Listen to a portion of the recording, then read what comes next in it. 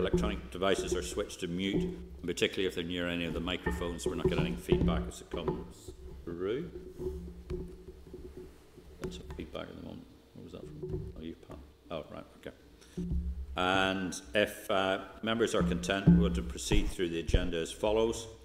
Uh, first of all, apologies. There are no apologies.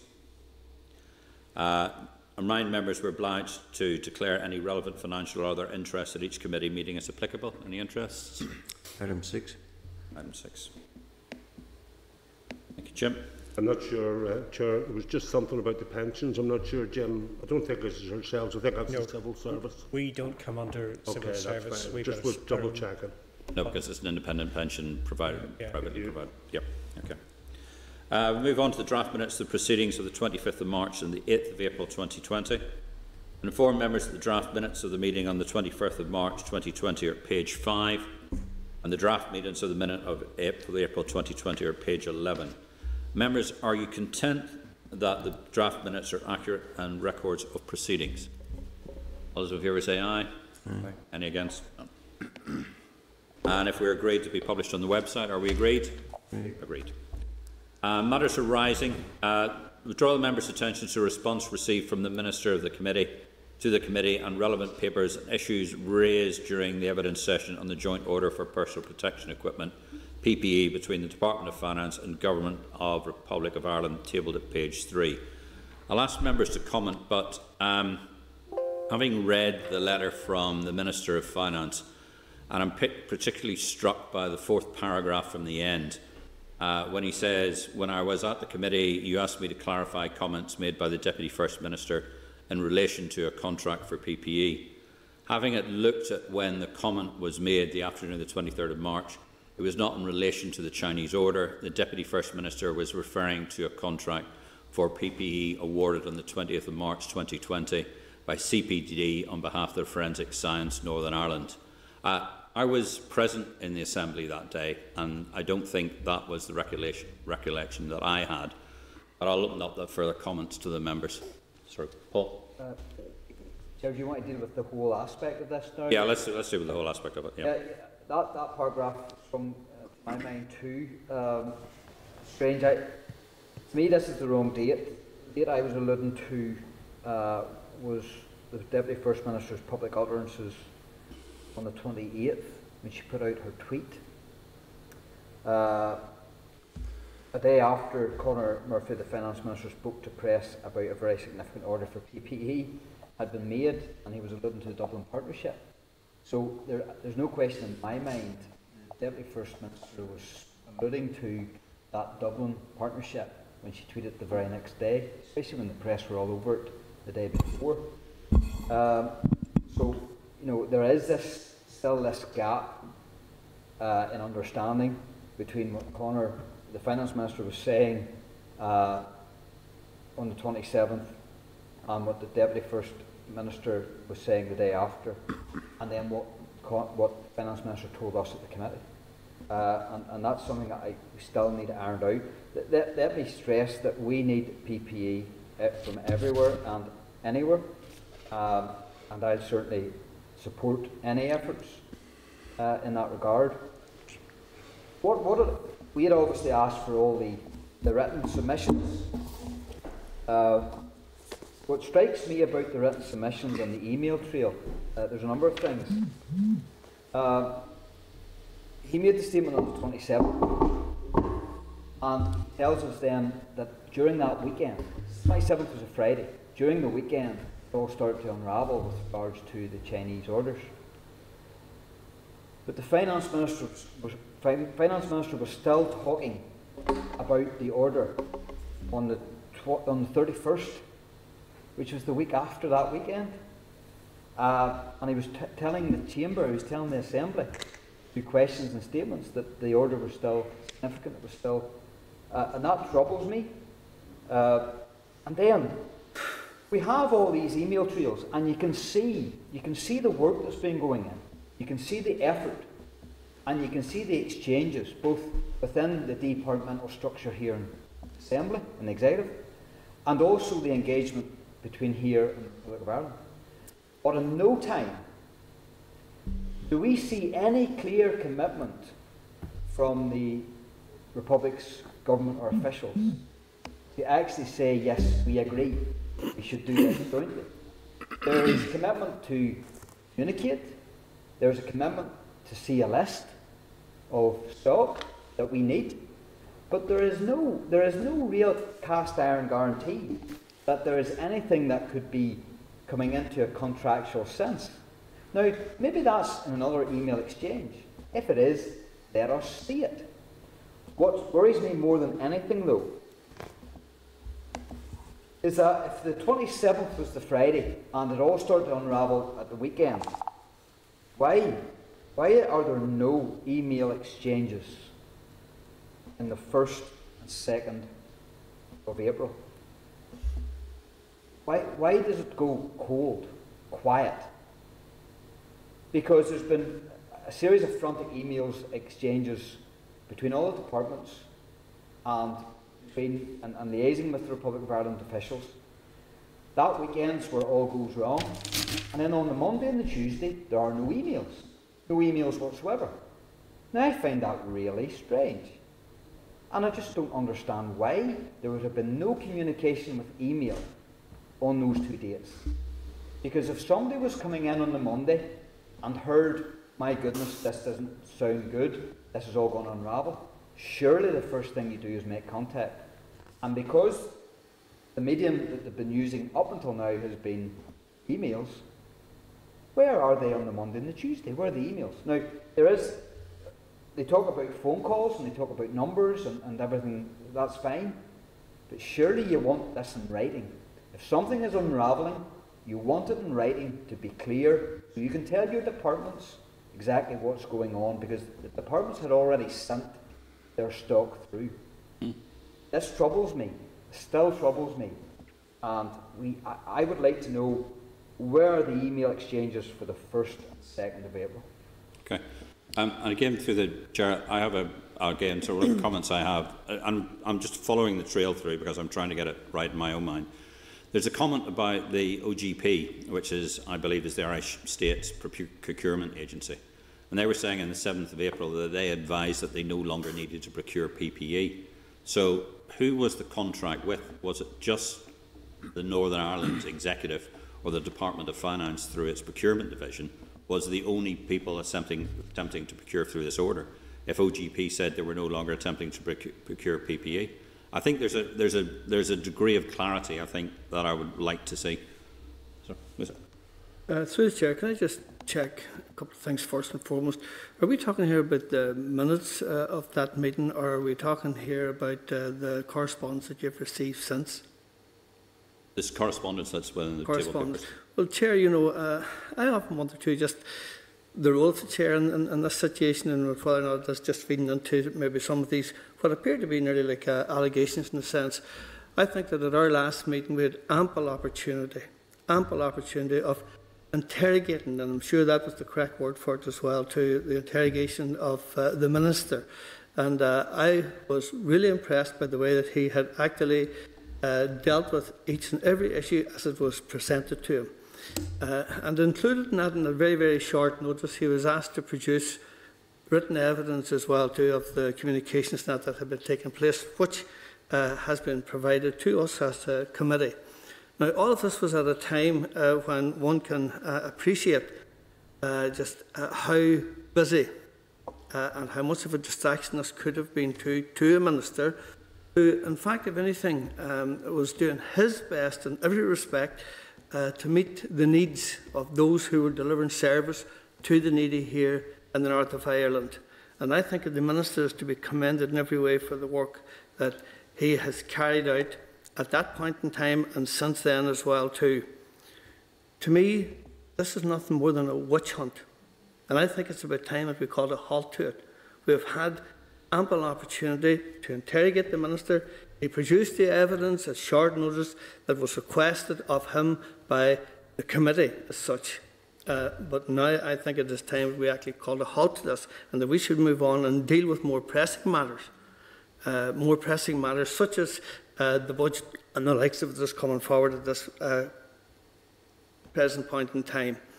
Um, and to start uh, heroin, which has already been ploughed, to use an expression that we use quite often in the country, and I'm sure you're all familiar enough with it, I think is both a waste of time of this committee and is only but reflective, only but reflective of the attitude of some members of this committee towards the finance minister. Okay, thank you. Jim? Uh, Chair, could I take you back to your reference to the fourth last paragraph of the Minister's letter of the 20th of April, where, as you read out, he- introduces a totally new narrative about what the Deputy First Minister was referring to, uh, and now suggests that, in fact, um, though everything she said was in the context of coronavirus, she was actually referring to a contract with the Forensic Science Division. The difficulty with that narrative is this that when you go to the EU electronic diary, the daily diary, and look up that particular contract, you discover that was a contract that went out to tender in October 2019, long before anyone had ever heard of coronavirus. With the tendering process closing in November, and then ultimately a contract awarded in March. And also, when you peruse the documents, you discover that it was a contract for three years with two periods of possible extension, each of two years. Was a possible contract for seven years for the supply of materials which were not coronavirus originated. They were for, yes, personal protection equipment, of course, forensic scientists use that, and for outdoor clothing and other personal protection consumables. So to have the minister tell us that whereas on the 8th of April he didn't know what Ms Sonia was talking about, that he now believes she was talking about a forensic science contract really does not fit within the scenario that what Ms O'Neill was talking about on the 23rd of March was all contextualised to the coronavirus challenge.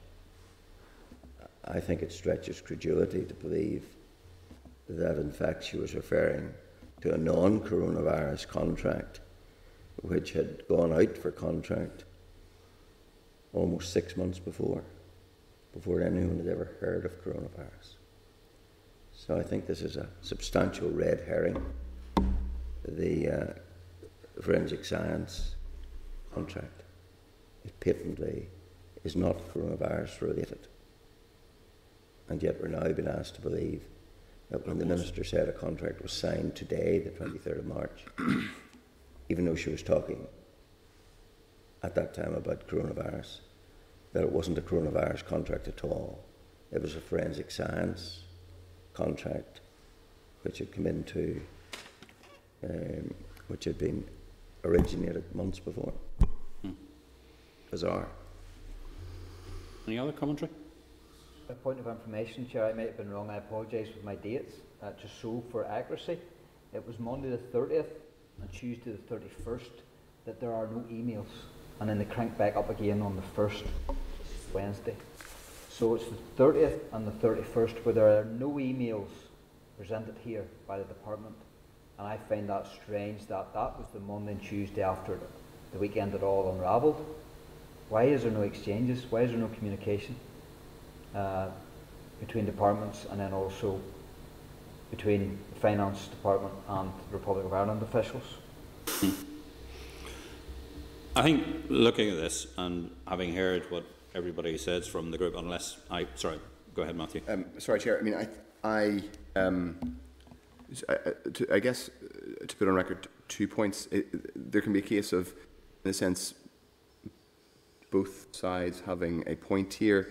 I think it's fairly clear that the, as we discussed last last week or the week before last, the finance minister, um, for whatever reasons, gave a an impression that people in the public and the media interpreted in one way. He um, he didn't seem terribly pleased by being um, challenged on that, what was a fair, an interpretation that got abroad. I would say to colleagues in other parties that it wasn't, it's not just a, you know, there, there are legitimate questions to ask about, about, um, about the way that was communicated. And I think that was done in the committee and those were legitimate questions to ask.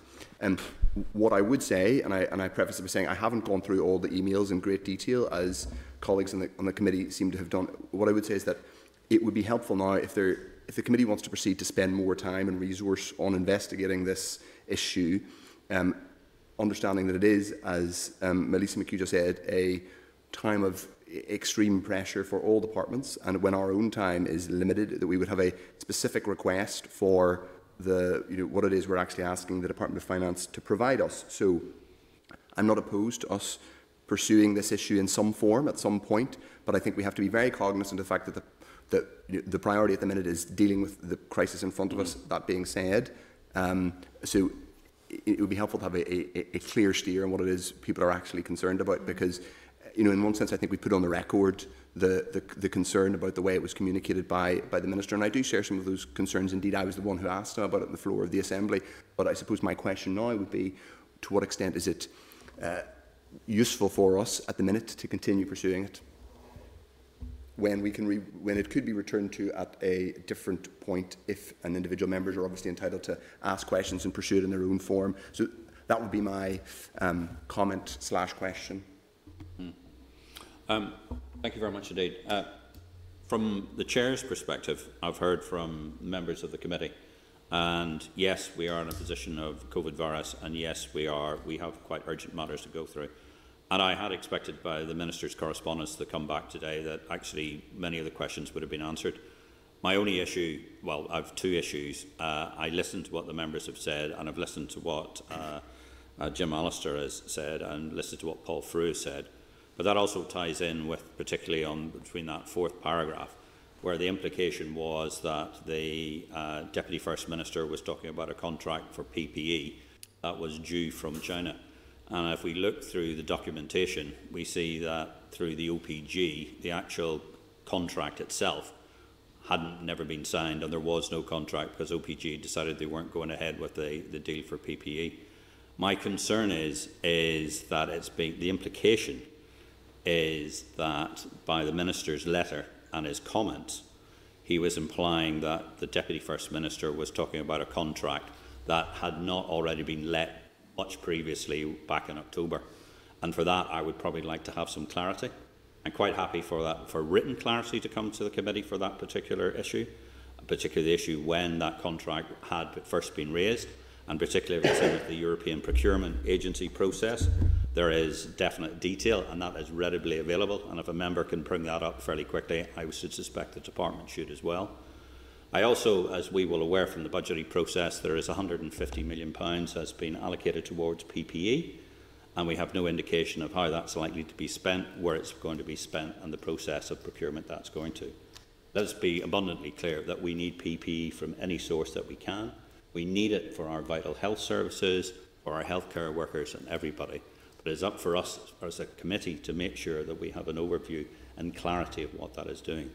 So bearing in mind that the information is readily available through the Europe on sort of the web system, I would ask that we would uh, ask the uh, we would ask the Department of Finance for further clarity on that, and if we'd move on that, are we content for that? Can I just add to that because we have a job to do here, and that's to scrutinise um, and there will things that come up in our agendas that some of us will class as not being uh, particularly uh, uh, important at any significant at any given time, but we still have to do our job. If I can direct members to page 10 of the table papers, uh, Sharon Smith uh, talks to Paul Quinn uh, from the Irish Government. Good morning, Paul. I'm not going to ask how you are, as I'm sure you're under pressure. Des said he was speaking to you in relation to PPE gloves, aprons, masks, etc. Who would be the, the best person in OGP to contact about this? That's the first. That's the first contact that we have in our emails. So I think we do need to ask the question about the missing days. Why was there no exchanges, especially when it was such a critical time? But also, I think we need to ask Des. Now, I take it that's Des Armstrong. No. No. No. It's a Dublin official, I think. Dublin official. I read that as a, an official from OGP. Yeah. Right, okay. So, so we need to find out where the, where this all started and the actual context of what was expected. Uh, and we, we haven't, we don't have that with this email exchange. This, this email exchange shows a lot of good work and communication between departments and between the two jurisdictions. But there's no real officialdom, there's no real clarity as to what was expected. Well, I've made a proposal that we seek clarity, particularly around the issues of when the contract for the forensic sciences uh, had first been raised. I'm going to- Right, through the chair, uh, and again too, I, I, I just come back to exactly the same point again.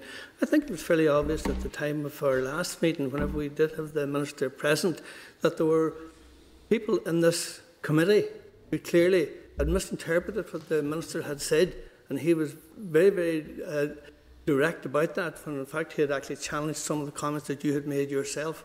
Uh, and I, I, I go a stage further and say once again, just that this, in fact, is anything but harrowing over ground that has already been ploughed. And, uh, and I know you, you intend to make a proposal.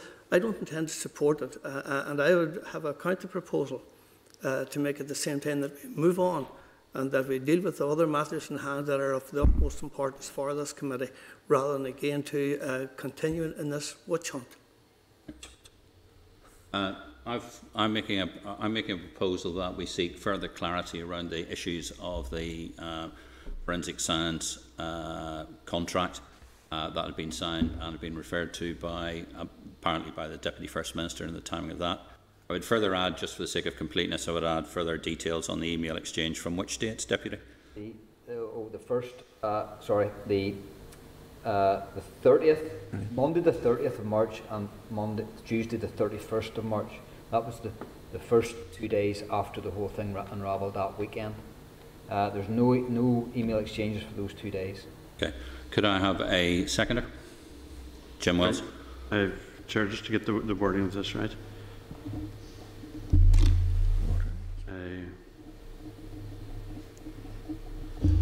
Sir, sorry, just, I know that you're, you, you- you're moving uh, towards, towards your vote, but there was a proposal there from, or, or not, there was a, an, a, a form of words from Matthew there where we can set this, you know, set this aside, move on with the important business that we have today.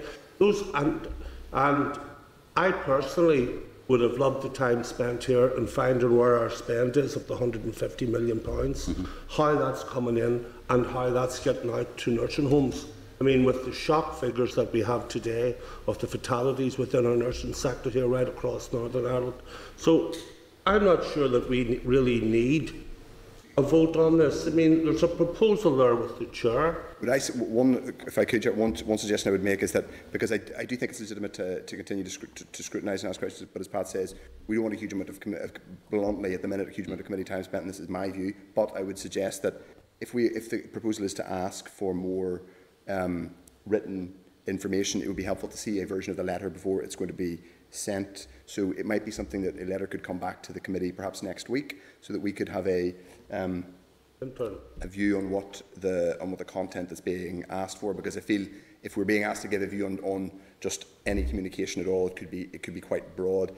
Personally I'm not opposed to asking for more written clarity. I think that's you know at the minute the departments aren't having to field assembly questions in general very much many fewer. So I think it's it's not a legitimate thing to ask additional questions but it would be helpful to see how we're framing that as a committee Do you want to put a counter proposal on the table, Matt? so my, my proposal would be to, um, to that we, um, uh, in a sense, um, delay dividing on the question of whether to send the letter until we have a draft letter, which um, I, I presume would be at next week's meeting.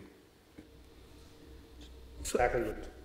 Right, just through the chair, I'm amazed, you know, uh, that uh, that you choose to ask Matthew if he wished to make a counter proposal. You didn't ask me uh, if I wished to make You a counter already proposal. Whenever I suggested it myself, whenever I suggested it myself, you didn't ask me. Uh, and if anything, it just questions then uh, um, how independent the chair is when dealing with a, a situation like this. Sorry, Chair, I must object to that. Mr McHugh's proposal is a direct negative of yours. Therefore, it doesn't need a separate proposal. Yes. It's a direct negative. End of. We, I, I listened to, I listened to all sides. I intend to be as fair and as appropriate as possible. In the process of trying to reach a consensus, we've listened to what uh, Matthew said, Matthew O'Toole said. I want to put Matthew O'Toole's proposal to the committee and look to draft a letter, circulate it amongst the committee, and then we bring it back to the committee next week for decision. All those in favour say aye. Aye. But Chair, just one other point I'd like to make as well too. I'd like to remind you and your Vice Chair that at one of our very first meetings you actually talked about consensus within this committee and to ensure we would move forward on that basis. Uh, quite clearly, uh, that seems to have been forgotten by both the Chair and the Vice Chair in this respect. Uh, again, too, and I go back to the point that I made earlier, that we continue in the witch hunt. Okay. Can I come into that? Uh, Sorry, just hold on a second, one chair. Uh, we've got a lot of work to do today. I've heard what you said. I've noted what you said. I think I've made it very clear to this committee that I will give latitude and fairness to all points of view as we go through this committee. There are significant questions that need to be asked from this letter, which I think are germane to all the Assembly, not just to political parties. There are real issues that here, which we've seen from other political parties around this table, who wish to see issues of this raised. So therefore, there's a proposal on the table, which I support, from uh, Matthew O'Toole, that we produce a letter which we circulate, and then we decide from that, we bring it to the front of the committee next week to decide whether we're going to take this further. But I believe quite strongly, from what I've seen from the evidence that's been produced, that there are other questions that need to be asked, and it is our job as a committee to provide scrutiny. And you know, your points are noted. Okay. Sorry, Chair, can I formally suggest then that the, the proposal from, from Matthew O'Toole is to uh, delay any decision in relation to the Minister's response until the committee can see a draft letter uh, of what has been proposed at next week's meeting? All those in favour? Uh, to see and agree.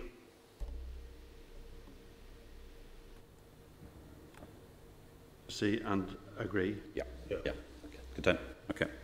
Right. Sorry, gentlemen. Ch- uh, Chair, who- who is in favour? Yeah. And Against? against? Carried. Right, if we move on to the written evidence, the Department of Finance, Finance Division Budget 2021. I'm going to draw your attention, please, to the clerk's brief at page 16. Bring my system up.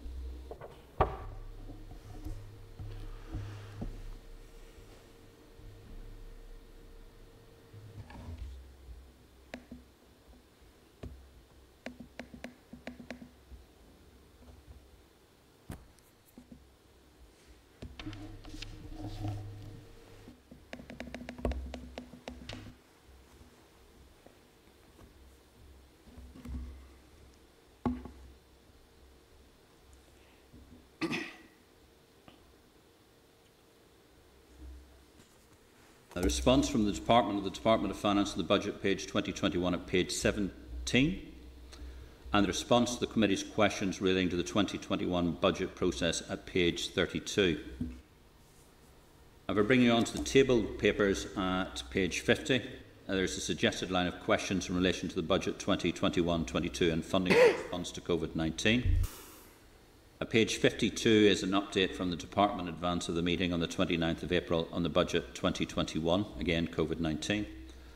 And table at page 59, a response from the Department of Finance to a Committee for Finance request for information regarding the allocation of resources for COVID-19. Uh, tabled at page 68 is the briefing paper from the Assembly's Research and Information Service, which aims to support coordinated Assembly scrutiny of Executive Budget 2021. I advise members that any questions members have in relation to the Department of Finance Department of Budget will be recorded by the clerk and sent to the department for written response within 24 hours of receipt. Once a response is received from the department, this will be issued to members by email and will be included in papers for the next committee meeting. Ladies and gentlemen, questions? I think the, the clerk's questions at page 50 of the table papers are pretty much on the money.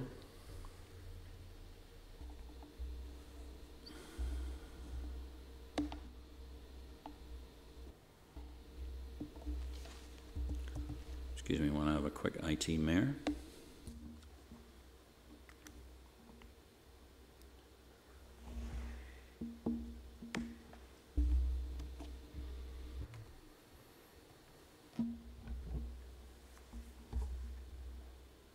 Any further comments, team?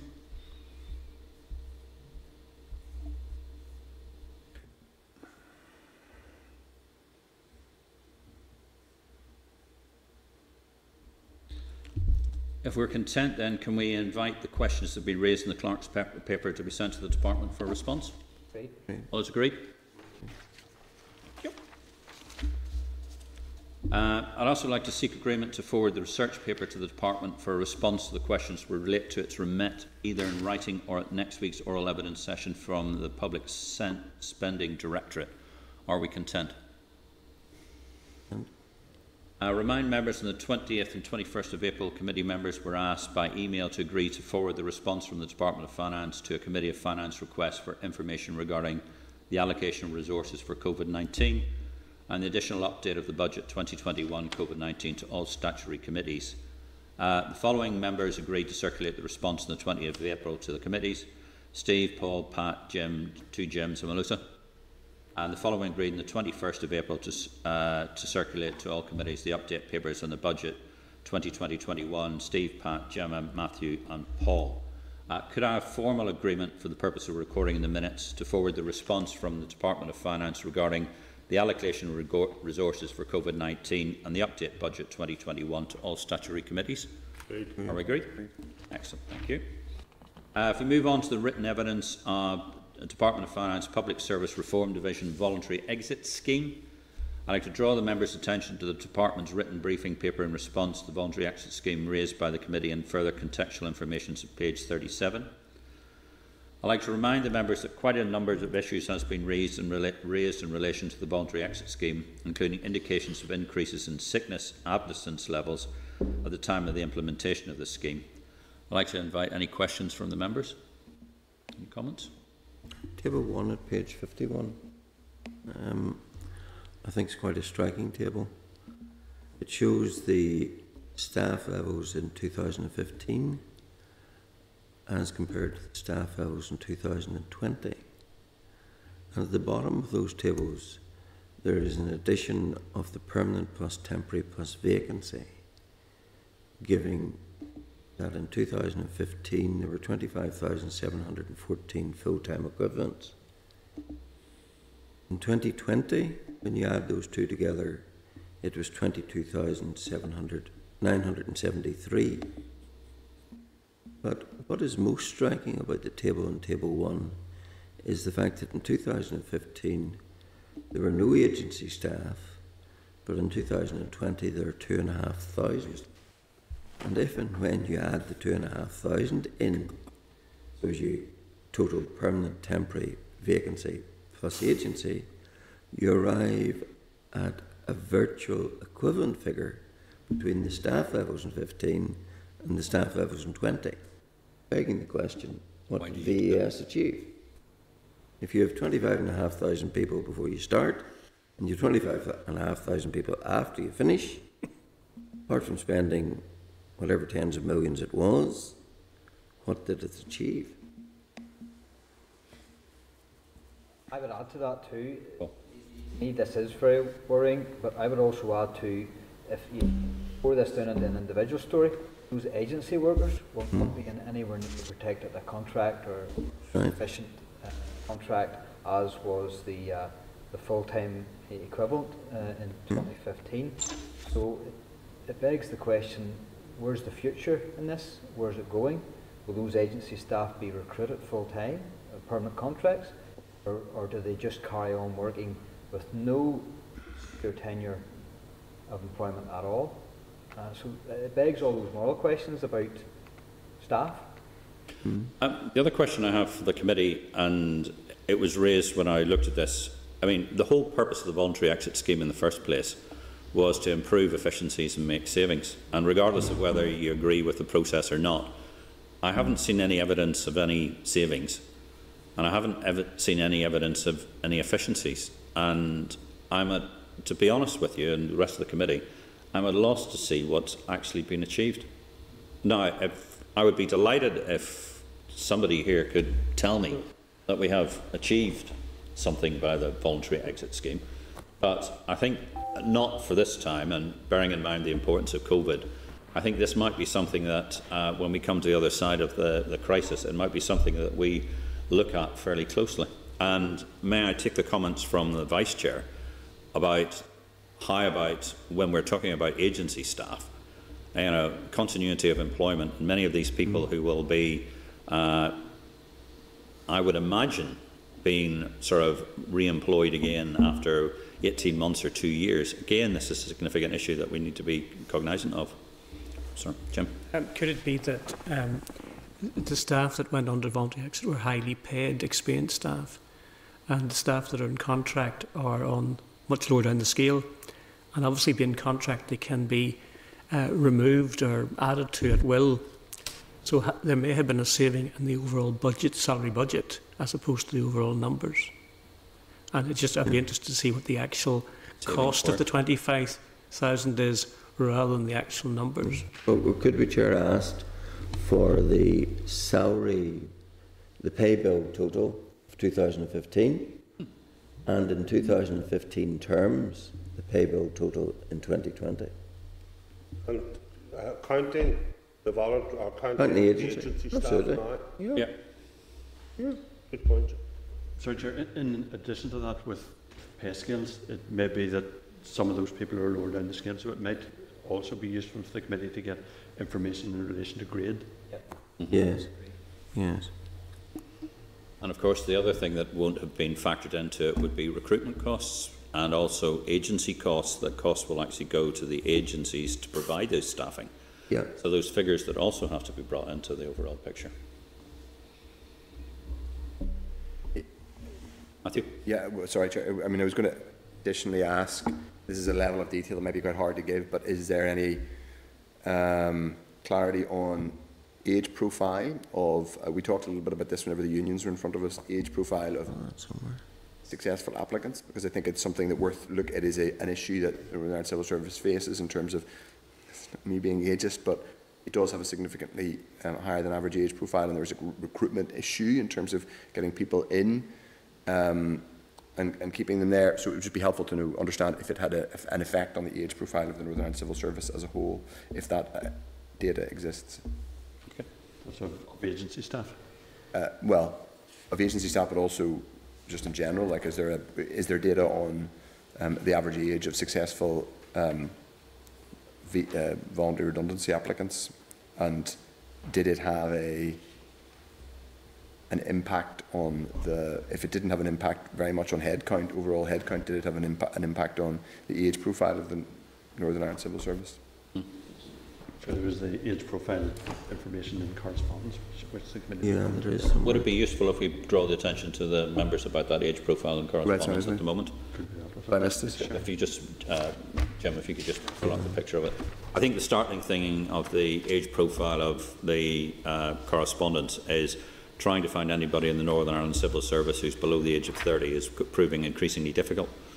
And it is being, the wedge is moving out to sort of, seems to be moving out to 50 plus. If we could just, This is page 167. page of the main pack. 167, if you'd just like to have a look at that, Matthew. Okay. How you doing? Yeah.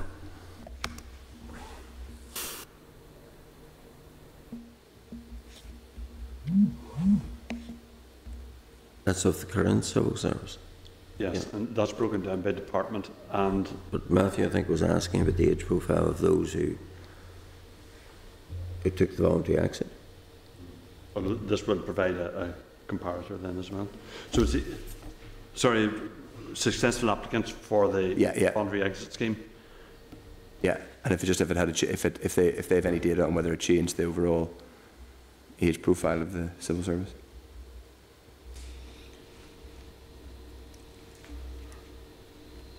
Um, I think the proposal is when we get to the other side of COVID, I think this is something we need to look very closely at as a committee. And I would like your agreement as if we have this within the sort of the future work programme. But I think just from what we've seen so far, there's some significant questions that need to be answered. Are we content? Agreed. Agreed. if we move on to the next item on the agenda, Primary Legislation Functioning of Government Miscellaneous Provisions Bill. I want to draw the members' attention to the clerk's brief on the extension of the committee stage at page 81. Inform members that the committee stage of the bill is due to end on 13th of May 2020. Under Standing Order 33.4, the committee may bring forward a motion to the Assembly to extend the committee stage until a date specified. I remind the meeting at the, uh, members at the meeting on the 25th of March, the committee agreed to seek to extend the committee stage until Wednesday, the 2nd of December 2020. I need to seek agreement that the following wording for the motion to extend be agreed. I need to put to the committee the following draft motion and seek agreement or amendment that in accordance with Standing Order 33.4, the period referred to in Standing Order 33.2 be extended to the 2nd of December 2020 in relation to the committee stage of the Functioning of Government Miscellaneous Provisions Bill, NIA Bill 01 forward slash 17 22. I'd like to inform the members that the agreed motion will be laid in the Business Office and the timing of the subsequent plenary debate on the motion will be scheduled uh, once considered to, by the Business Committee. I'll put that to the committee. All those in favour say aye. Aye. Any against? Aye, passed. Uh, I'd like to draw members' attention to a number of papers relating to this agenda item. A response from the Right Honourable Sir Patrick Coghlin and colleagues from the RHI inquiry declining to comment on the bill on page 82. Response from David Sterling, head of the Civil Service at page 83, confirming his attendance at the meeting on the 6th of April. And response from the Finance Minister and the Permanent Secretary for the Department of Finance at page 84, uh, confirming their attendance on the 13th of May. Sorry, sir, just clarify, that should be the 6th of May in relation to 6th the of May. civil service. 6th of May, okay. Ask I think members he's no. physically going to be here. Yeah, he's actually. I, I think so, yes. It hasn't been completely confirmed yet, but I think that's the intention in relation to both parties. Matthew? Sorry, just clarify that. Who's going to be here instead of Head of the civil head of civil service? Is going to be one of us. Okay, yeah, it's Sterling. Okay. First week. Uh, uh, With my, my, my uh, just in relation, if, if I may, Chair, on the letter we've received back from Patrick Coghlin, um, is that worthy of discussion within the committee? And do we think that's, are we happy to, um, to have, to have it passed that the, Patrick Coghlin's effectively saying, no, computer says no, I'm not, you know, in the nicest possible way. He's telling us he's not going to, I mean, I, clearly he did a very long inquiry and he answered, you know, he, he presented his findings to the media, but I suppose it's, my question is whether that we are content that we're not allowed to question him any further or question the, I don't know if others have. Other comments? Well, Chair, just uh, Sir Patrick Coghlin made recommendations in the RHI report. So if he says that, basically he's saying that's the recommendations, go with that. Read the report. Read the report. Uh, uh, What are you going to do, force him to come in?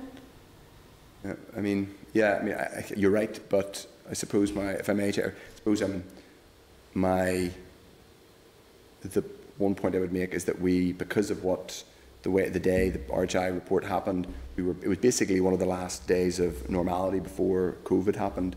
Um, uh, you know, and, and we then had a weekend and, you know, to be fair, the minister came and like gave a, you know, debated it with relatively little notice. But you know, there are big things.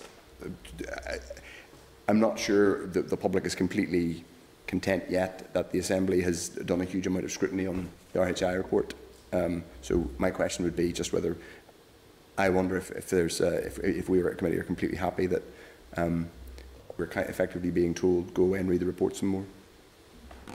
Uh, Chair. Yeah, well, I wasn't at all surprised by Sir Patrick's response. I sort of anticipated that he would probably say, I've done the report, I've done my bit. What do you now do with it is up to you. Um, on Matthew's point, we were inviting him on the narrow ground. Right. Do you want to comment on this draft bill?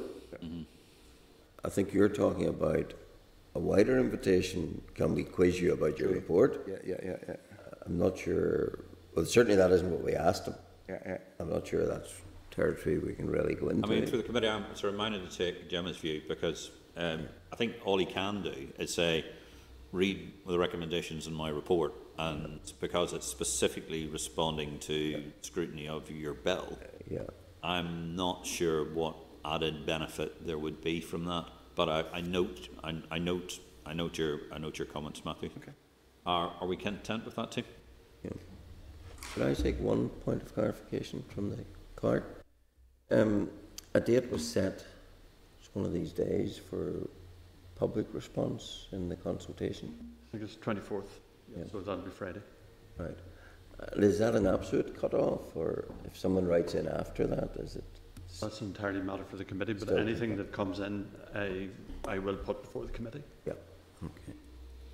So next, by next week, we will be seeing, it's not a very auspicious time to Yeah, expect anyone to write in, but, It- uh, It would be my intention to have all responses with the, on time for the committee meeting on the 6th of May. So that would, packs going out for that meeting would issue on the 1st of May. okay. Would, would, Right. have you any idea of what's flowing in? There hasn't been a lot to date. Is that a euphemism for none? No. Well, well double figures? Uh,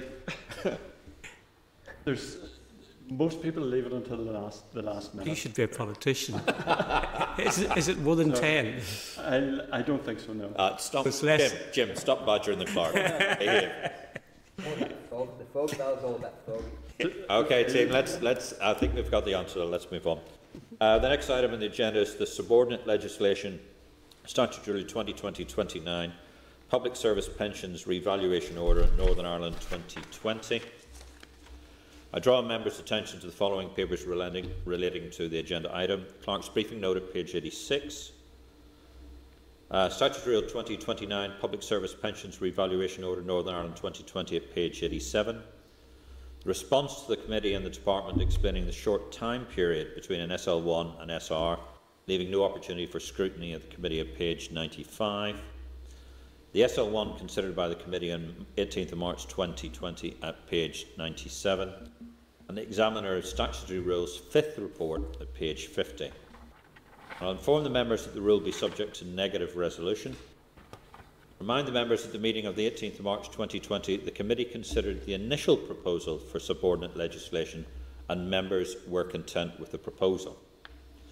The Department has confirmed that there are no changes to the overall policy since the initial proposals were submitted to the committee. I would like to inform the members that in the, ex in the Examiner of Statutory Rules fifth report of session 2019-20, published on the 21st, 25th of March 2020, the Examiner has confirmed that she is raising no points about the rule by way of technical scrutiny. Members, if we are content, are we content? I will put, to the, put you to the question. The Committee for Finance has considered Statutory Rule 2020-29, the Public Services Pensions Revaluation Order Northern Ireland 2020, and has, has no objection to the rule. All those in favour say aye. Aye. Any opposed? No. We move on to item 8 on the agenda, subordinate legislation, Statutory Rule 2020-43, the whole of government accounts, designation of bodies, order Northern Ireland 2020. I'd like to draw members' attention to the following papers relating to the agenda item. Clerk's briefing note at page 108. Statutory Rule 2020-43, the whole of government accounts, designation of bodies, order Northern Ireland 2020 at page 109. SL1 considered by the committee on the 18th of March 2020 at page 118. I'd like to inform the members that the rule will be subject to negative resolution. I'd like to remind members at the meeting on the 18th of March 2020 the committee considered the initial proposal for subordinate legislation and members were content with the proposal. The Department has confirmed that there are no changes to the overall policy since the initial proposals were submitted to the committee. I'd like to inform the members in the Examiner of Statutory Rules fifth report of session 2019-20 is published on the 25th of March 2020. The Examiner has confirmed that she is raising no points about the rule by way of technical scrutiny. Members, are we content? Therefore, I would like to put to the members, the Committee for Finance has considered Statutory Rule 2020-43, the whole of government accounts, designation of bodies, order Northern Ireland, and has no objection to the rule. All those in favour say aye. Aye. Any against? Thank you. If we move on to uh, uh, agenda item number nine, subordinate legislation, standing rule 2020-59, the rate, regional rate order of Northern Ireland 2020. Draw members' attention to the following papers relating to this agenda item. Clerk's briefing note at page 129. Statutory Rule 2020-59, the rate, regional rate order Northern Ireland 2020 at page 130. SL1 considered by the committee on the 5th of February 2020 at page 135. Examiner of Statutory Rules 7th report at page 138. I'd like to inform the members the rule is subject to affirmative resolution procedure of the Assembly. It does not come into operation unless affirmed by the Assembly. I'd like to remember, remind members at the meeting of the 5th of February 2020, the committee considered the initial proposal for subordinate legislation and members were content with the proposal. The Department has confirmed that there were no changes to the overall policy since the initial proposals were submitted to the committee. I'd like to inform members in the Examiner of Statutory Rules 7th report of session 2019-20, published on the 17th of April 2020, the Examiner has confirmed that she is raising no points about the rule by way of technical scrutiny. Are we still content, members? Therefore, I'll put it to you that the Committee for Finance has considered statutory rule, the rates regional order Northern Ireland and recommends that it be affirmed by the Assembly. All those in favour say aye. Aye. Any against? Aye. I move on to item number 10 of the uh, agenda, subordinate legislation, statutory rule 2020-47, the Pensions Increase Review Order 2020. I'd like to draw members' attention to statutory rule 2020-47, the Pensions Increase Review Order 2020 at page 147, and the SL1 considered by the committee on the 21st of March 2020 at page 153. I'd like to inform members that this must be laid in the Assembly, but is not subject to further Assembly procedure. Remind members that at the meeting of the 25th of March, the committee considered the initial proposal for subordinate legislation, and members were content with the proposal. Still content? The Department has confirmed that there are no changes to the overall policy since the initial proposals were submitted to the Committee. The Examiner of Statutory Rules confirms while she would consider this rule by way of technical scrutiny, she will not include it in her report unless there are any un, unless to raise any points in relation to rule. Members, are we content to note? Yeah. Uh, Ladies and gentlemen, uh, move on to item number 11 of the agenda. Chair, apologies. I've, I'm, I'm doing this uh, uh, out of order, but just a, a, question I'd love to have an answer to is in relation to the whole government accounts and the um, the but now in, we, we've, we've just affirmed the, the, the order, so I'm slightly delayed by a few minutes in asking.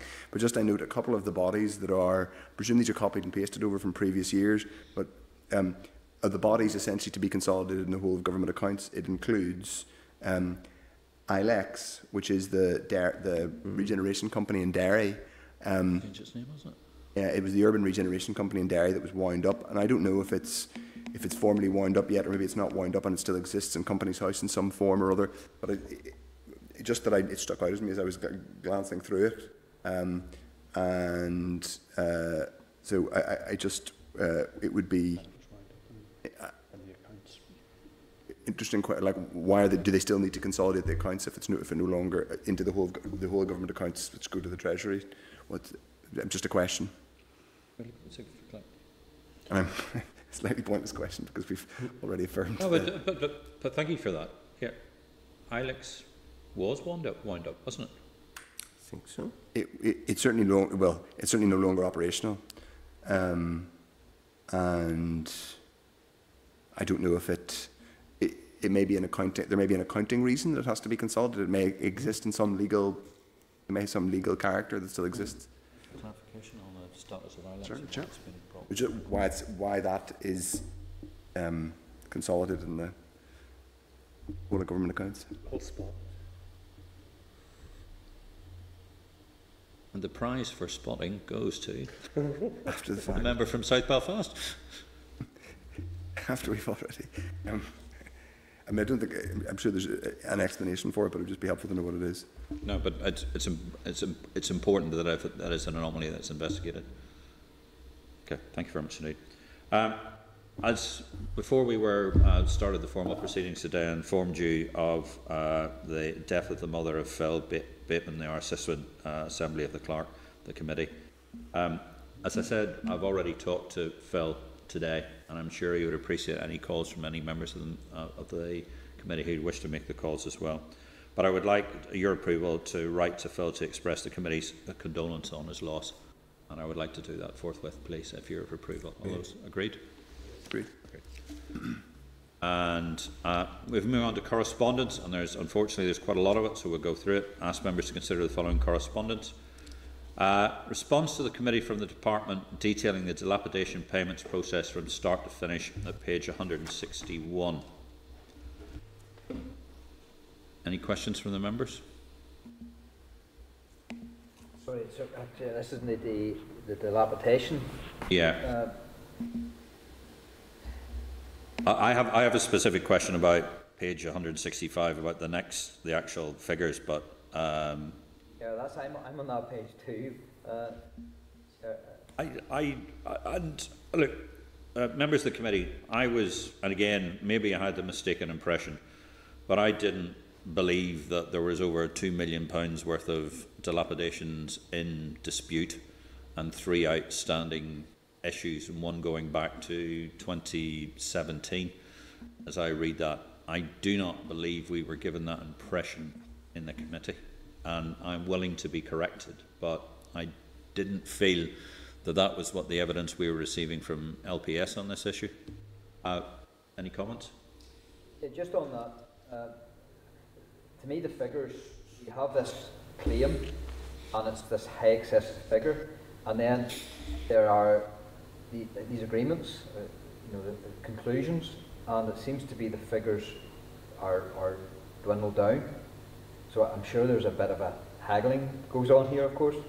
It seems to be they come down greatly. Uh, I'm not necessarily saying it's the department's fault. If somebody makes a claim and there's a contest, that has to be resolved.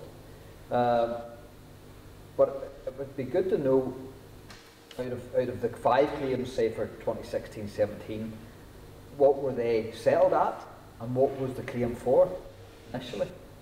Um, but also, it doesn't really get that page 165 doesn't really give us the duration of time that each of these takes. Now, again, if there's a contest, that could be longer than, than what you would like. But, but one of the complaints originally was the length of time it was taking the department to go through these. Mhm. And landlords were, were leaving, you know, were, were coming up short. So, again, more detail on the actual claims, the specific claims. What was the claim for? What was it settled at? And then also, what's the duration of these claims? How long did it take to process and get out the other side into a resolution? Of course, there's still ones that is still in dispute, so you know the clock's still ticking. But I think we need more detail on this because of the initial complaint in the first place. Um, members, on behalf of the committee, um, I had the distinct impression, after having received the evidence here in front of us, that this was a small issue. There were some issues that were outstanding that had been were now being dealt with, and particularly the significant issue that we had the correspondence from the company in front of us had been. And I think the indication was made by LPS, and I'm willing to be corrected, uh, was that this was a, a sort of one or two examples. But from the evidence that I've seen from here and the amount of money that's still in dispute, that is that to me doesn't smack of something that is a small amount. So I would probably uh, like to write back to LPS and get a bit more clarity. And, the also thing is, um, I was under the belief that there was a degree of independent arbitration on some of these issues. So, and, and I take your point, uh, uh, Vice Chair, about the fact that some of these seems to be reduced downwards. But there's, there is a, there's an indication here that the process is uh, not as straightforward as it could have been. And I think perhaps maybe writing again some clarity if the committee were in uh, agreement. Would we be agreement? I, I think what we want would be information on the outstanding ones. Yes. Probably, wouldn't it? Yeah. Are we content? Content. Thank you. Uh, if we move on to uh, item three of the correspondence, it was response to the committee from the department detailing the age profile of NIS staff at page 167. Uh, I think we should be looking at this, and again, that's probably something we'd look at uh, in the future work programme when we look at the voluntary exit scheme. Uh, are we content to look at that as part of the age profile issue? Thank you. Uh, response to the committee from the department regarding accounting officer training, uh, page 171. Uh, ask members to note. Can I ask when did the training take place? Because there was two outstanding, I think, at that time. Mhm. So we're now told in the, in the period since that everything's up to date. So it'd be good to know when, when the, the training did finish or complete. Uh, is the committee content for us to go back to the department and ask them when the uh, training was completed? Do, do we not believe them? Uh, no, I think it's a, it's a question of when it was. I mean, we've been told the training has been content, but it's a question of accounting officer and roles of accounting officer. So it's you know it's it, it seems it always seemed a bit strange that you'd be appointing an accounting officer who hasn't done the accounting officer training, but we now see from the correspondence that we seem to have caught up. The question is when did we catch when did we catch up? And this becomes germane if there is in a future situation where uh, for some reason there's been a, a misappropriation or whatever of public monies, and then the person who's the accounting officer would say, well, I actually didn't do the accounting officer's training, so therefore I couldn't necessarily be accountable and responsible. It's quite a, it, it, I think it's worthy, worthy of clarification. The committee agreed? Uh, response from the department to further requests from Finance Committee on the level of RHI non-domestic tariffs on the regional rates and energy uh, number 2 Act on page 172. So, Chair, uh, first of all, uh, uh, on the page, on the letter on 181, it says further request from Finance Committee for level of RHI non-domestic tariffs and regional data. So can I just, this really grates at me because it wasn't further request. It was what we had asked for in the first place and it wasn't forthcoming. That's the first point uh, I make. Uh, on page 182, uh, it, it, it goes on about the clarification uh, as to why we didn't get it the first time. Uh, they, they talked about ongoing legal. Uh, they, they talked about consulting whether this could be disclosed to the legal process. Again, is that the reason why it wasn't forthcoming the first time? If it is, why not just tell us they were checking it out to make sure they could give it to us? I'm happy enough with that, with that explanation. Um, uh, now, out of the information, it seems to be the case that there are, on page 184, uh, Richard Rogers, RR, advised, this is the top paragraph, the second paragraph of that subheading, Richard Rogers advised that there will be a project board subcommittee meeting early week commencing the 17th of September to discuss two preferred options to be included in the business case. Uh, again, where are the minutes of this project board subcommittee?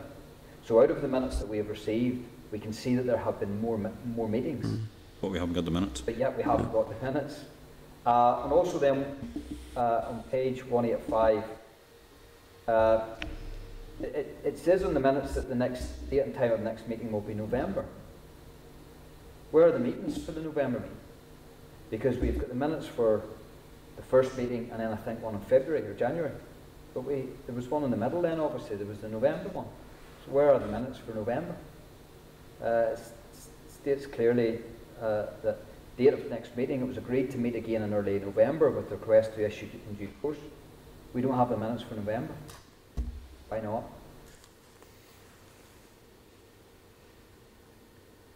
And it's just detail. Mm. It really is just making sure that we have sight of everything, and I don't believe that we have. And if we are having to pull teeth from the department, then that's, that's why we end up having to go on going back to them. Just be upfront and be open and start and give us all the information we require. And if there's minutes that come out that allude to other minutes or meetings, well then, it, surely it should be a default position that they give us everything.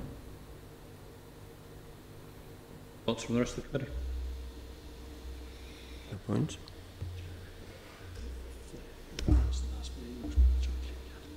Second. Well, we'll take them to clear the minutes. Uh, probably at the next meeting. So if they had the meeting in So- November, they wouldn't clear the meeting Yes, minutes. so presumably the, the minutes of September were cleared in November, so the minutes for November would now be cleared at their next meeting, which may not have taken part yet, taken place yet. So do we ask them for the minutes as soon as they've been cleared? But, but Clerk, if you look at page 188, Yes. we've been given draft minutes for the February meeting, I think it is. Drafted, Emer Morelli, 1st of February 2019, agreed, blank. So they have been giving us draft minutes. I think Paul's point is, where's the draft or actual minutes for November? Yep. Uh, uh, just, just to be. So there's draft minutes, but not the minutes from that particular meeting. No, no minutes for the previous meeting. yeah, so. If it, maybe it didn't happen. They- they- Yeah, so they, they met on February, wasn't it? And then they met in August, I think it was. Uh, sorry, September. So they met, meeting fourteenth September and the meeting first of February. But if you look at the minutes, if you look at the minutes of the fourteenth September, it clearly state, the time date of the next meeting is November. Uh, and then we bounce then to the February minutes. So all I'm simply asking is, where is the November minutes? Now, it might be the case that they didn't need to meet in November. I would doubt it, mind you, because it's such an important issue at that time. So where are the November? There was a meeting in November, which I believe there would have been, where are the minutes? Or did, did the meeting take place, and if so, Where's the minutes? for the minutes? Where are the minutes? Are we content to write to the department for ask that request? Agreed. Uh, if we move on to the next item of correspondence, a response from the Department of Justice in relation to contractors uh, taking legal challenges at page 191. Uh, to seek agreement to forward the correspondence to CPD suggesting that they accept the offer from NICTS to engage with them and report any progress to the Committee for Finance. Are we content? Great. Yeah. Uh, details from the Department of the Committee on the 2021 census legislation tabled at page 98 informs that the order will be considered by the Committee for the Executive Office on the 22nd of April and scheduled for debate in May. I'm asking members uh, to note pending the Committee for TEO consideration of the standing road. Are we happy to note? Okay. Uh, moving on to COVID-19 uh, specific issues, letter from Hospitality Ulster in relation to the impact of COVID-19 on the hospitality sector in Northern Ireland, is page 194. Right remember, members of the 10th of April committee members were asked by email to agree to forward the letter from hospitality to the Minister and to agree a response on the issues raised. Uh, the following members agreed, Jim, Jim, Jim and Melissa. Uh, could I seek... It sounds like a 60s pop group. It does, actually. Yeah. I'm just trying to work out which one you are. uh, could I seek agreement for the purpose of the recording of the minutes to write to the Minister seeking a response to the issues raised by Hospitality Ulster? Agreed. Agreed. A letter from the Northern Ireland Hotels Federation to the Chair at page 198 in relation to the challenges posed by COVID in the hotel and tourism sector. Draw members' attention to the response to the Northern Ireland Hotels Federation at page 202. Uh, are we content? Are members wish to discuss it further? Just so, we're fighting through the, the, the, the Northern Ireland Hotels Federation have written to both the committee and the Department of Finance, so they're not, whereas Hospitality Ulster is effectively asking us to write and also make representations on behalf of their sector or to relay their views. Their ho- hotels aren't because they're writing directly to the Minister as well. Yeah, I, I think it's because Hospitality Ulster probably have a lot more of experience on how to deal with the assembly and deal with the process.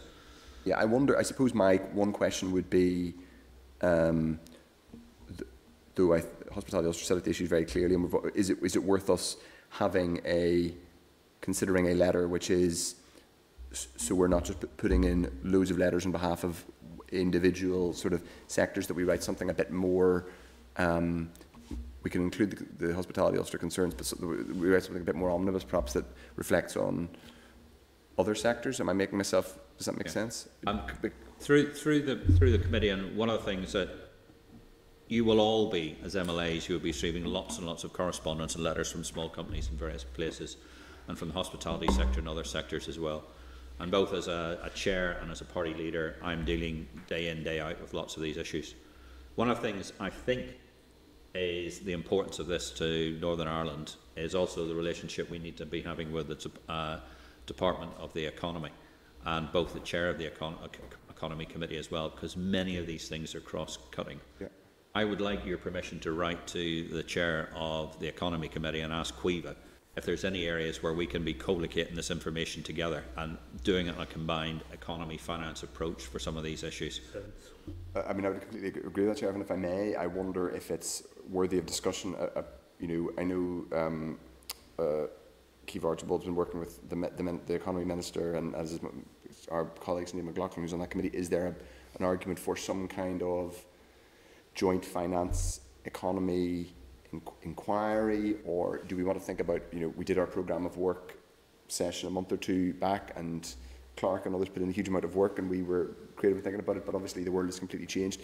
Do we want to suggest some kind of joint session with the economy committee where we're thinking about, you know, the joining up of um, uh, the because you know they are completely lockstep in terms of the economic responses. That do we? Uh, that's a suggestion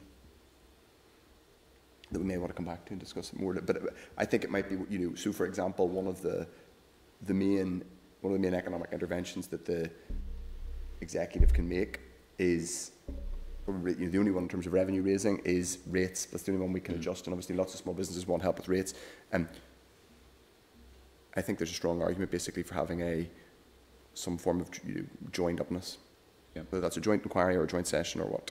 Uh, um, my perspective on this is having previously been in economy and now being in finance, but also coming from a Chamber of Commerce background and also listening a lot to what's happening in sort of the community out there at the moment. I think it's vitally important that the Assembly is seen to be listening. But I also realise that the likes of Hospitality Ulster, uh, Manufacturing NI are spending a lot of effort briefing multiple committees. And I think it might be useful if I write to Caoimhe and say, Caoimhe, can we arrange for a, some form of joint session so they can provide joint evidence to us?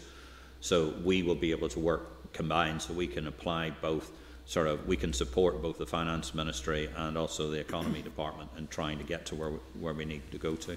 I would quite like to write that letter sort of uh, post haste. So uh, could I have a, a, proposer and a seconder for that? I propose that. I propose. All those in favour say aye. Aye. Right. I just add on to that, Chair. That briefing took place this morning, as far as I know. Uh, so again, but, but there, there'll be other issues going forward which we will have to work hand in hand together. I, I, I really do believe that. Just on the point with regards to Northern Ireland Hotels Federation's letter, the two letters aren't the same.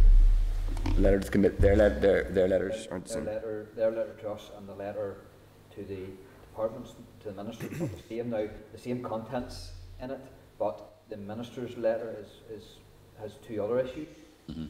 So, uh, you know, I, I think we do need to forward that on to yeah, Minister and ask for his response. Yeah, okay. Can we ask approval to forward that uh, on? All those to say agreed? Agreed. Great. Okay. Uh, if we move on to the Northern Ireland Tourism Alliance, has shared a letter Chair, which... Just when you're on hospitality, uh, Northern Ireland, it's just to inform the committee that the past Chief Executive, Jerry McVeigh, passed away yesterday. Oh, no. So yeah, so I just thought. Oh, please, uh, if, I, I'll talk to Colin and the rest of it, but I'll pass on. I'll pass on my personal and also the, the committee's condolences for that as well. Thank you, Chair. Oh, Thanks for letting us know. Bad news. Oh, sorry to hear that. Uh, Northern Ireland Tourism Alliance has shared a letter which is sent to the Minister with a number of key asks to the Government to mitigate the economic impact of COVID on tourism on page 205. I think we'd be content to pass that on to uh, the Minister. But again, that might be something for a body of work that um, we should be doing in combined with the Economy yes. uh, Committee. I think we could take. Sure, that is a letter to the Minister that was yeah, copied yeah, committee. Yeah. And I think we could take, yeah, I mean, I can imagine, again, the sessions where you're taking stuff from probably Tourism Ireland, and the Northern Ireland Tourist Board, NITA, and the, just even the, if, if, if the chair and their members are willing, you know, having the joint session yeah. would give it a degree of profile and attention. There, there, there is a, an obvious issue in relation to joint session and social Social distancing. distancing, and yeah. But we can, uh, look, we can, if uh, Westminster can manage 50 MPs with uh, Zoom, um, we can, we can manage something, particularly since it's important. And, and to be fair, whilst we will, as members, want to be over everything, I think there'll have to be a certain discipline in all of this, so that we need to make sure that we aren't stepping on other people's toes in their job of work. Uh, whilst the, uh, about it, finance and the economy committees do sort of have this economic side of things that we need to keep an eye on, and they will, our eyes will fix on the same subjects time to time. We'll probably have to be guarded that we don't get sucked in, and that they don't get sucked in in into stuff that's solely our responsibility and their responsibility. So probably we'll need a wee bit of discipline. Knowing Caoimhe as well, I, as well as I do, I think Caoimhe will keep me in line. Thank you.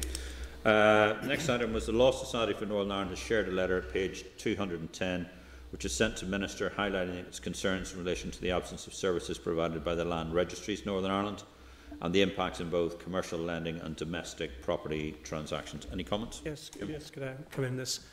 I've had a constituent who's in real trouble because of the situation. Um, I understand that most government departments, whilst their front doors are closed, staff should be continued to work either behind the scenes or online. What seems to have emerged is that some people in the Land Registry have just gone home full stop. And I don't see why many of these functions should not just carry on. For instance, a lot of the planners have gone home. A lot of council staff have gone home. and I rung the dog warden the other day, he answered me from his front kitchen, which is fine. The number was switched through. There was no difficulty whatsoever, and he sorted the problem out. So I'm just wondering what is going on with LPS. Have they literally sent people home to do nothing, or are they trying to maintain a service from either uh, a locked office or from home? Because I'm getting, I'm hearing from estate agents that um, sales are fa- uh, falling through because they can't get the certification from LPS to allow the final stage of the uh, sale to proceed. Do we want to seek uh, further clarification from LPS what they are doing about remote working? Can I just say, I don't know if I'll be allowed to mention a name, but it'll be someone very high up. I, I have found that when I ring that number, I click through, and those queries that I can't solve myself are answered very quickly by LPS, and uh, most of them were to do, granted, with with the rating and the D, rating, do you know, where the subsidies was paid to those that were industrial rates that were more complicated than the ordinary 10 and 25 care we taking on the same thing, Jim.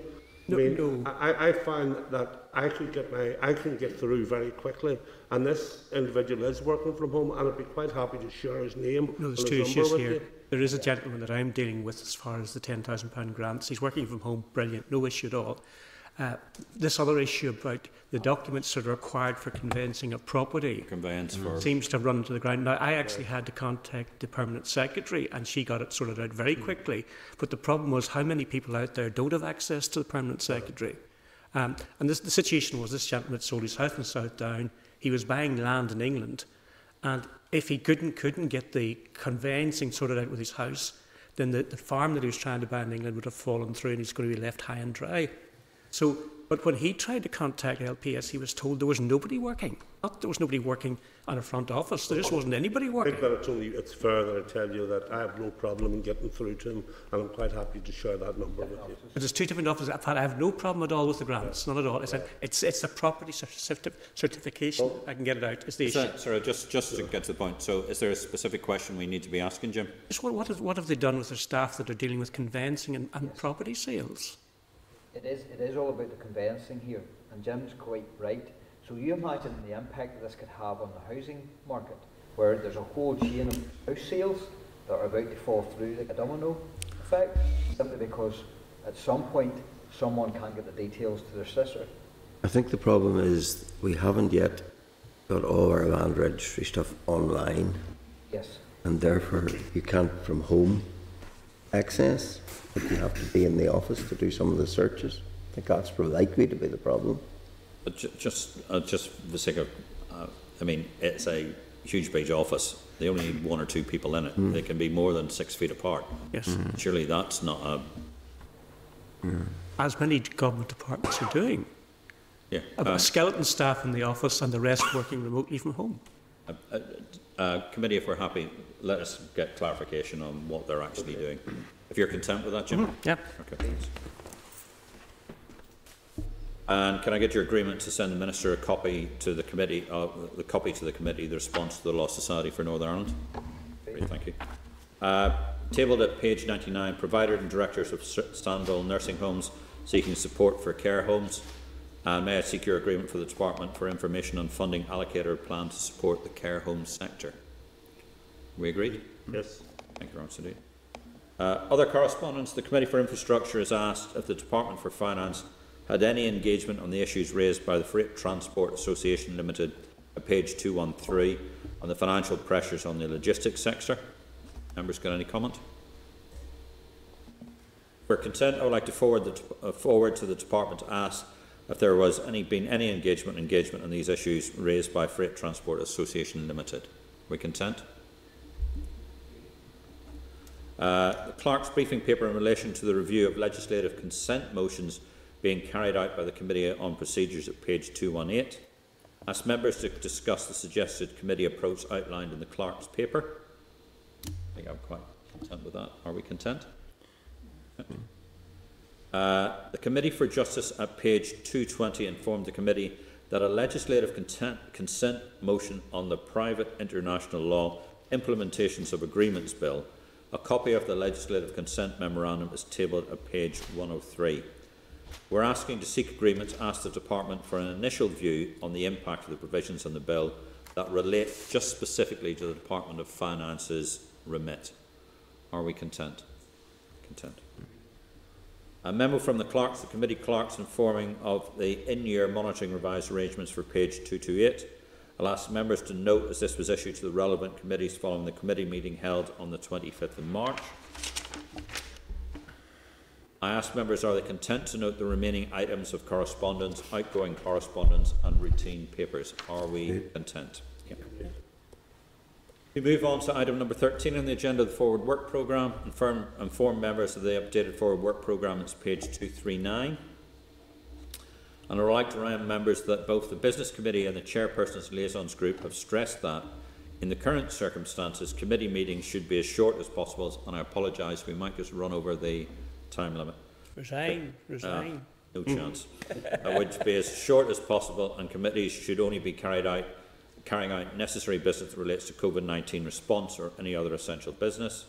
It is, however, a matter for this committee to decide what business it considers to be essential for the current circumstances. I'd like to remind members that the RAISE research papers on the preliminary consideration of e-government in Estonia was emailed to members during the recess, and I'd like an agreement sometime in the future to schedule an oral briefing on the paper from RAISE at a future date, if we are content. I'd also like to seek, seek agreement to forward RAISE's research paper on the Department's digital shared services, asking for a response to the following issues. A, a comparison of Northern Ireland's digital services provision in comparison with uh, Estonia. And for those who are not aware, Estonia is seen as the, uh, as the gold standard across Europe and indeed globally for a lot of these services. An outline of the drivers and barriers to Northern Ireland's achieving a similar level of e-government, not to mention BT, obviously, sorry, I mentioned that. Uh, how barriers could be overcome and what the cost of providing a similar level of e-government would be.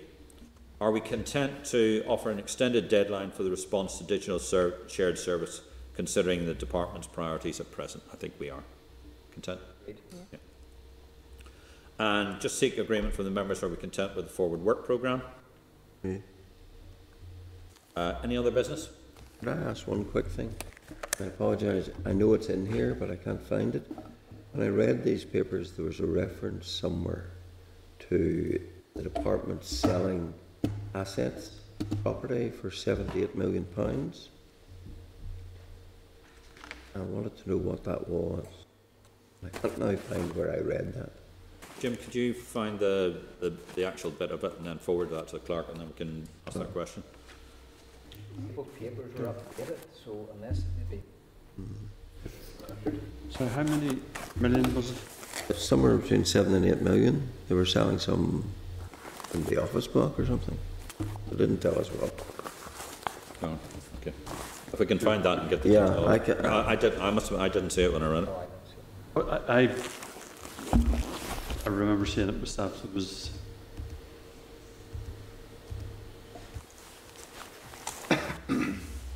I didn't mark it, unfortunately. so.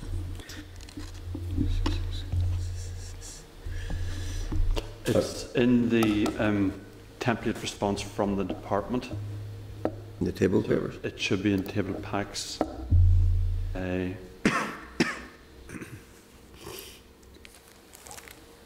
Well, my query was just for, for us for some amplification in that.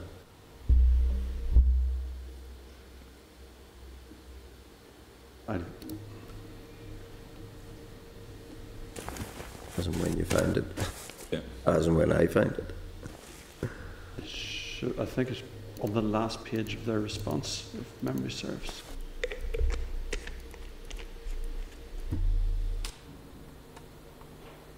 Uh, yeah, page 31 of the pack, The pa, uh, the table papers, of the main pack.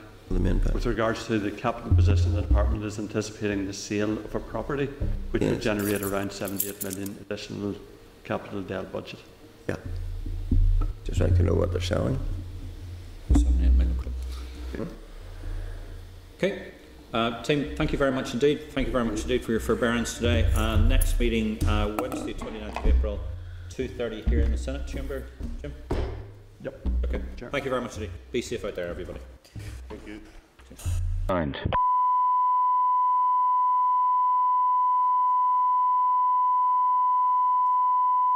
This is the Northern Ireland Assembly Senate Chamber Programme signed. This is the Northern Ireland Assembly Senate Chamber Programme signed.